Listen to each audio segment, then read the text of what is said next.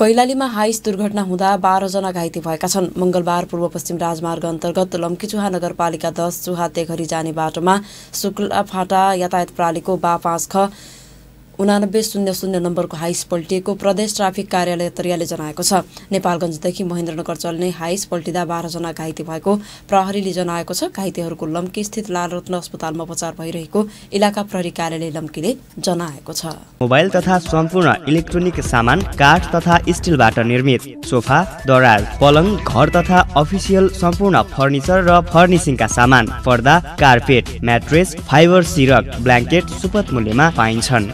सम्पर्क Vivek marketers and suppliers Everest bank अगाडि सम्पर्क पाँच तेइस नौ सय छ्यानब्बे।